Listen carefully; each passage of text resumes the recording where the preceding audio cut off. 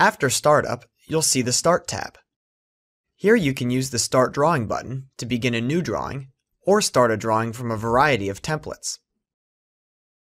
You can also open a drawing from the Recent Documents list. In the Notifications area, you'll receive product update information when it's available. And in Connect, you can sign in to your A360 account or send us feedback. The drawing area is where you create and modify objects to represent your design. The navigation bar provides access to the steering wheel, pan, and zoom. Use the menu button in the lower right corner to customize the navigation bar. In the lower left corner of the drawing area is the UCS icon, which displays the positive directions of the X and Y axes. When you hover over a Drawing File tab, you'll see preview images of the model and layouts.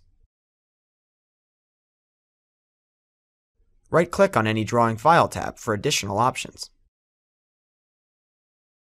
Above the File tab is the ribbon. The ribbon organizes commands and tools into tabs and panels. For example, the Draw panel on the Home tab contains tools to create objects, such as lines, circles, and ellipses while the Modify panel contains tools to modify objects, such as move, copy, and rotate. The Quick Access toolbar displays frequently used tools. You can easily customize this to include the tools you like to use.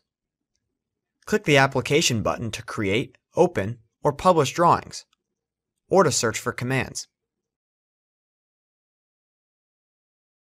In the lower left corner of the drawing area are the controls to switch between model space, where you'll do most of your drawing, and paper space, the layout tabs that allow you to control which area of the drawing to publish and at which scale. You can add more layouts by clicking on the plus sign.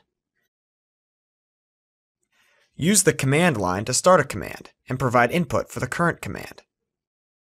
As you enter a command, autocomplete will suggest a list of matching commands.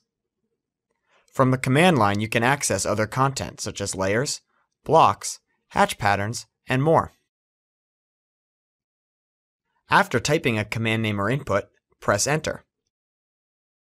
Dynamic Input displays the command prompts next to the cursor.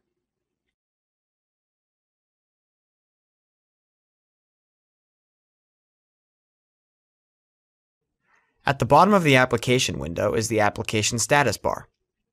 The status bar displays common drafting aids, annotation scaling tools, and workspace customization tools. Tool palettes contain tools to aid in the creation of your design. Tool palettes can also be customized with additional tools and content.